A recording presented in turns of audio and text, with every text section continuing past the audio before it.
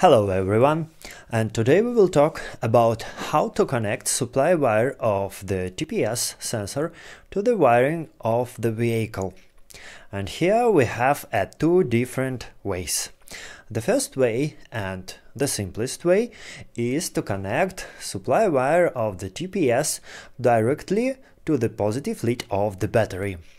Let's watch on the typical schematic diagram. Here is it. As you can see, it is very very simple. I highly recommend you to install a fuse in series with this supply wire.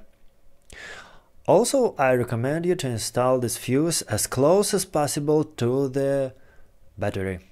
The TPS can operate in two different modes. The first mode is normal, mo normal operation. Uh, what does it mean?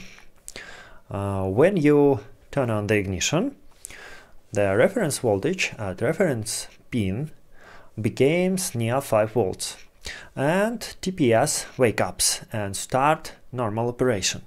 When you turn off the ignition, the TPS see that the voltage on the reference pin is near 0 volts and it goes to the sleep mode.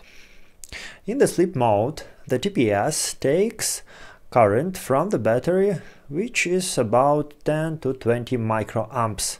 This is a very very low current. So if you will not drive your vehicle about week or two, the TPS will not drain your battery totally. So this is not a problem and this schematic will work. But if you switch the TPS to the measuring mode, and in this mode the reference input of the TPS uh, became a measuring input and you can connect there a signal of oxygen sensor or intake air temperature sensor. And in this measuring mode converter will not go to sleep mode even if you turn off the ignition. And it will constantly take a high current from the battery near 20 to 50 milliamps and it will drain a battery within mm, several weeks. So if you will not drive a vehicle and forget to switch it to normal operation mode, you can get a totally drained battery.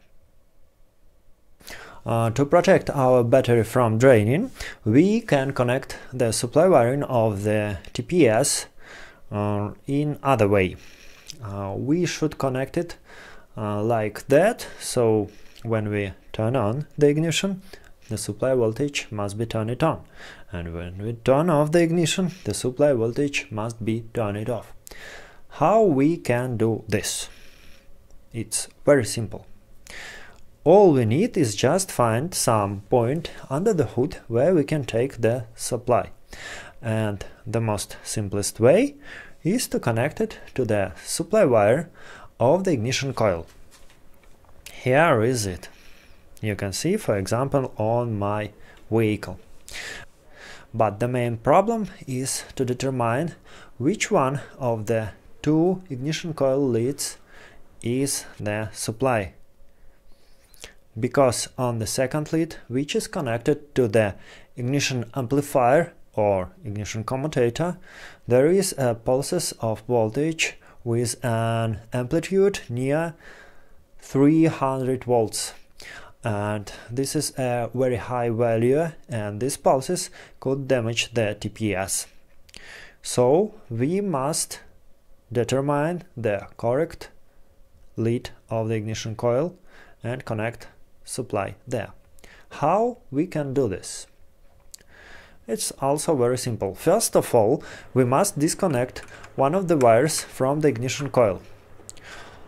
Next, we must turn on the ignition and measure a voltage on both wires with a multimeter.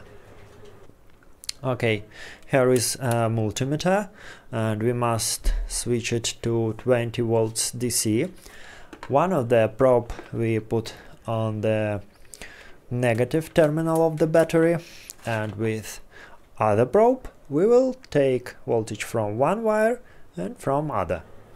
Here you can see that on this wire is 0 volts and this is exactly that wire that we don't need and must never ever connect to this wire because this goes directly to the ignition amplifier and on this wire when gel will be working there will be uh, high voltage pulses.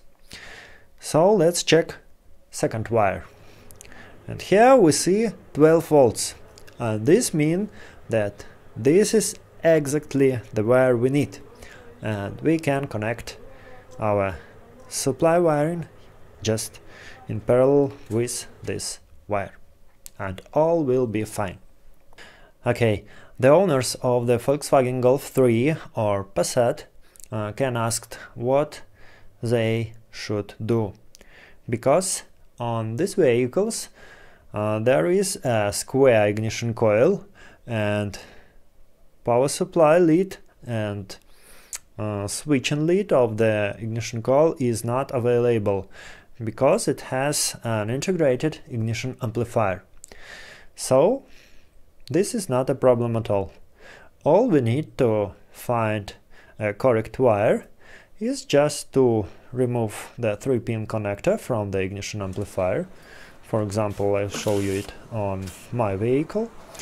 And also we switch ignition to the on position and check with the multimeter each pin of this connector. And only on one pin we will see uh, 12 volts.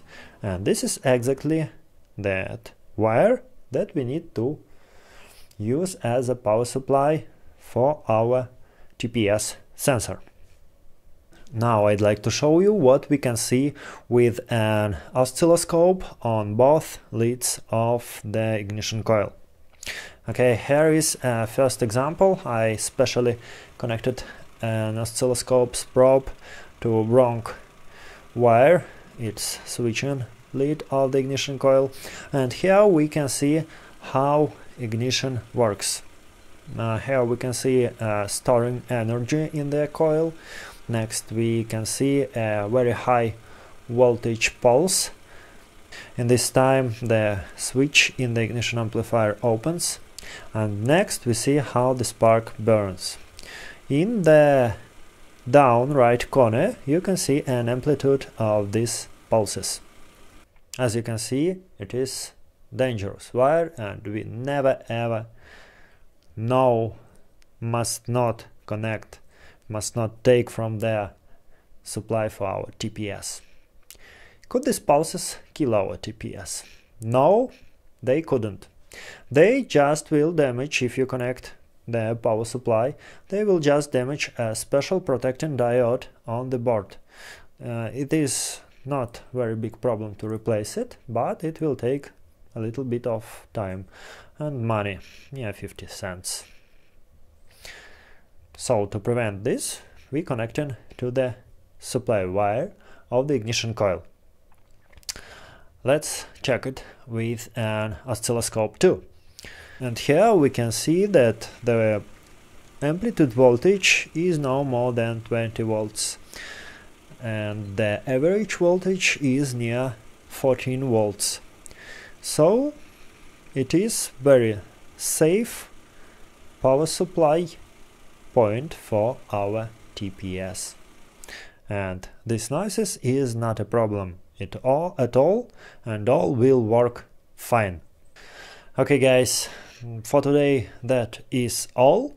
In the next videos we will talk about uh, idle switch about um, intake temperature sensor and about precise tuning of the TPS.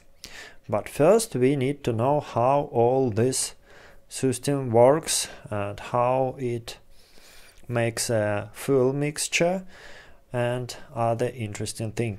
We'll talk about it a little bit later in the next videos. So, see you, bye bye, and wish you all the best.